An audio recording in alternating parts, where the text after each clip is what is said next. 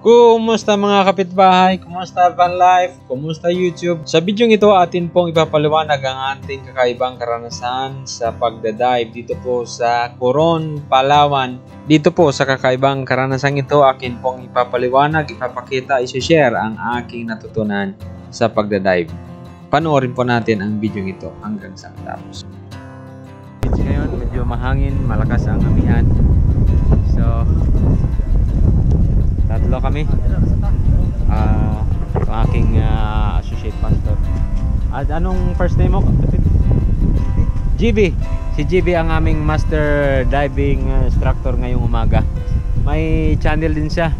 Suportahan niyo mga kapatid. Subscribe niyo, like, and share. Anong pangalan ng channel?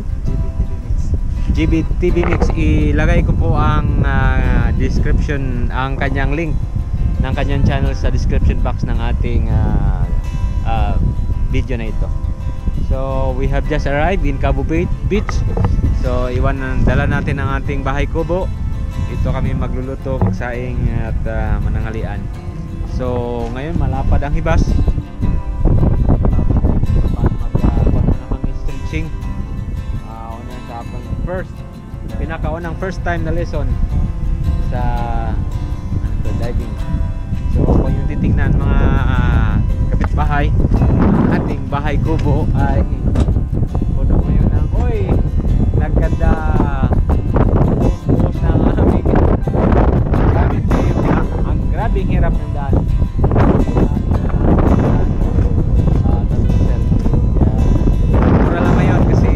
Pang mga masyadong turista. Yun, uh, binababa na po ang, ang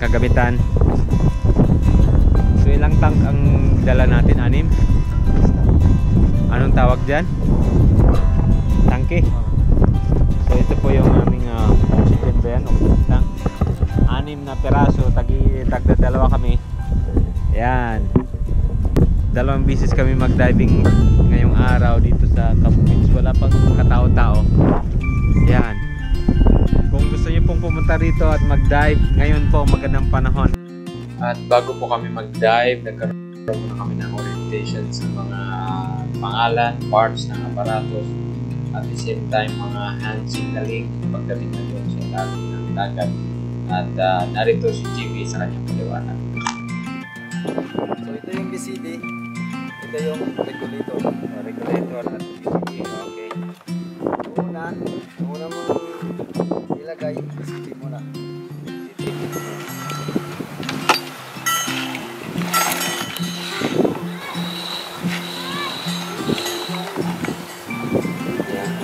Na.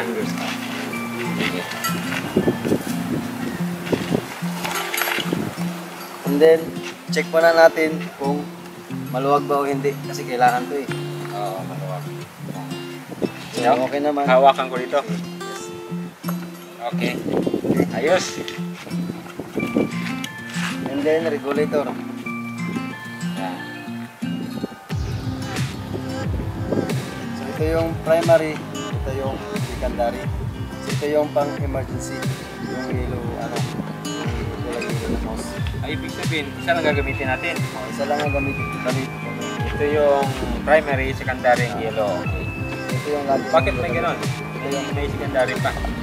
Ginagamit ito in case na halimbawa na nagkaroon ng trouble. Halimbawa, ito, ah, nagkaroon ng trouble yung octopus mo, so may magagamit ka pa na ano, Ah. pang emergency. Okay. Dalawa So, pala. lalagay na natin. Ah, Open natin.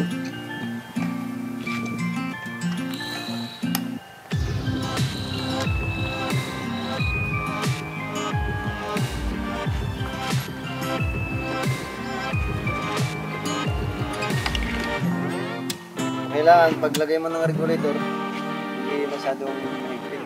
Kasi yung ah uh, yung pressure na yung magano sa kanya. Wala. Kasi pag once na... Tama lang ipit. Oo, tama lang. Yan. And then, ilalagay na naman natin dito sa inflator. Almost na to. Wala problema kung problema. Problema. Dapat sa loob ito. Oh, Ganyan. ito yung gauge niya, dito mo malalaman kung ilan yung hangin mo package.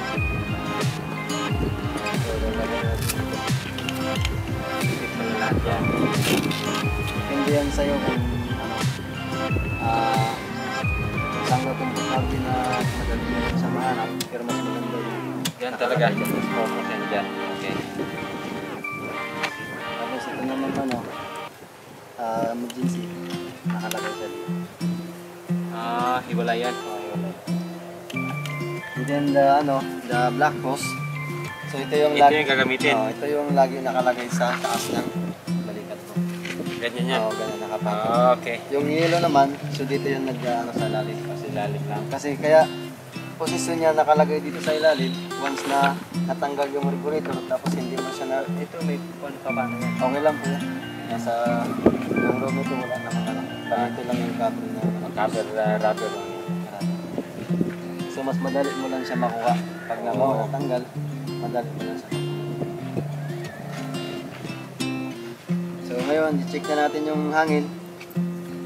So open na natin yung tank.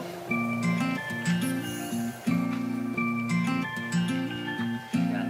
170. 70. 70. 170. Okay. Tama lang yung hangin. 170. Kasi kasi magagad lang naman tayo ng 12 meters. So kasi yung ang laman ng tank, yun lang ang laman yan. Pero normally yung laman talaga na ginagamit ng tank na hangin, na ginagamit na 200 pa. Kaya siguro mura ko.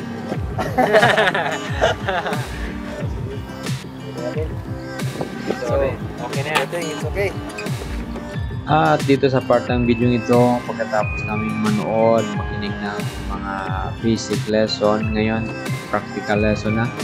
At uh, binigyan kami ng pagkakataon na mag-install nito mga gamit na ito ng maayos. At uh, pagkatapos tanggalin at ibabalik naman ulit. So ito yung lesson na dapat kong ma maisaulo lagi kong sana ma-perfect lagi pag sa tuwing mag-dive kami kasi napakadelikado pag hindi po magawa ng maayos at tama itong mga procedure na ito. So gusto kong uh, panoorin nyo rin baka sakaling gusto nyo pong mag-dive at mag-rent ng uh, mga aparatos dito sa Palawan or somewhere else. Ito po yung video nito kung saan ako po at ang aking kasamahan si Albert ay nagkaroon ng practical application ng aming natutunan ng napakabilis. So, so far, medyo hindi naman po mahirap at uh, napakadali. Interesting naman po ang subject na ito. So, panoorin nyo lang po ang video nito. Hindi ko po escape sapagkat baka meron mo lang sa inyo dyan na gusto rin uh, binabalik-balikan at kung paano man ito ginawa. At actually, ito sa video nito, napakarami ng pieces ito. Ito ulit parang ma-memorize ito ng maayos. Doon po sa nagtatanong ko magkano po ang aming ginastos sa pag-rent ang mga gamit. Ah, actually, sa katunayan, pag hindi po pandemic at kasagsagan ng maraming turista, maabot ito sa 4,500 po ang isang set. Ngayon po ay halos 1,500 lang ang aming ginastos kasama ng fuel, kasama ng pagkain, kasama ng lahat-lahat. Ah, maliban lang po pala, hindi po kasama yung bayad sa instructor nito sapagkat ah, free po itong aming instructor ngayon. Dito sa Palawan, dito sa Coron, marami pong marintahan ng mga gamit na kagaya nito.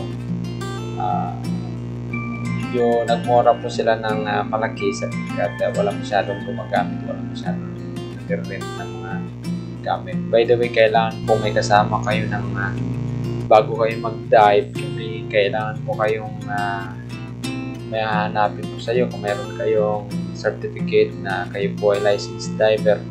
Kung wala po, kung hindi po kayo diving, uh, kung wala po kayong license to dive ay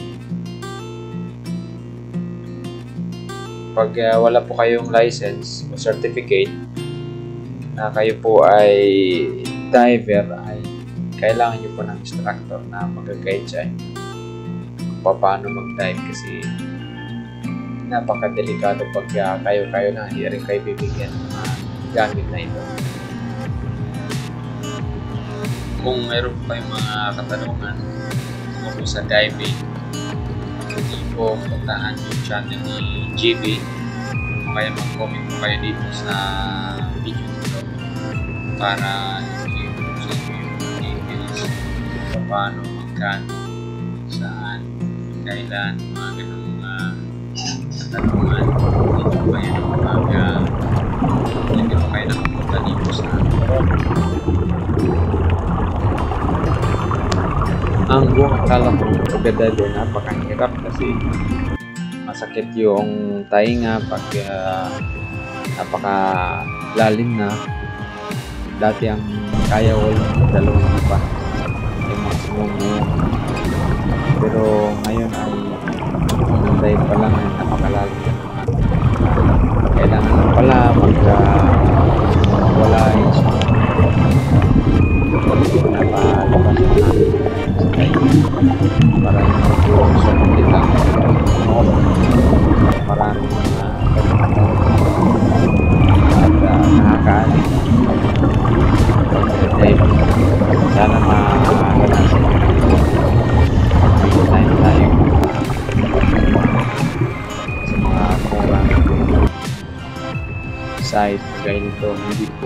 po ang hapon lang dito ganda ng isda ganda ng mga kurang dito dito yan ay tama lang na matuto kami mag-guide para dun sa pagpunta namin sa mga magandang spot.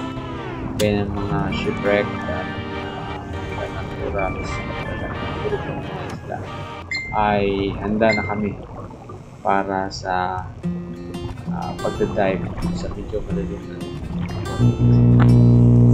Ang pagdive ay para bang pumunta sa ibang planeta sa mundo ng mga isda.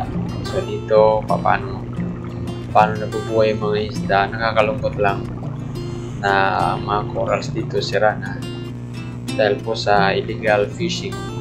Pero dito sa Coron may mga magagandang spot na pwede kayong mag-dive na preserve po ang mga corals. Dito surviving po ang mga corals ngayon. Ah, uh, na dahan-dahan na rin pong nabubuhay ang mga corals, bumabalik po ang mga isda. Pero sa video ito, ay hindi ko ito papahabain pagka mahaba nga ang video ito. Bukas po magkaroon tayo ng part 2 sa video ito para hindi po masyadong mahaba. So ito po yung pinakaunang dive namin. Bukas ay second dive natin.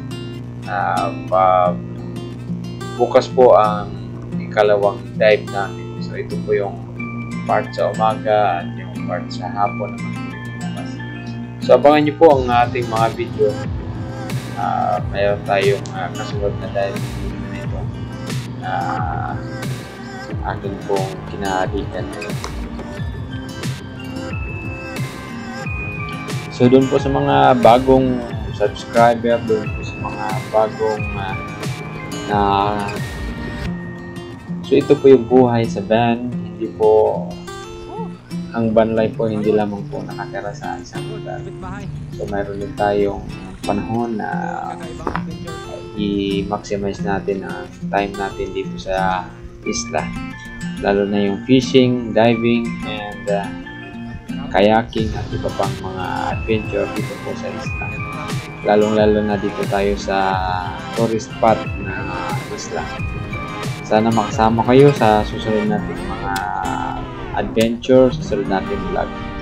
God bless you. Abangan po bukas ang part 2 sa video ito.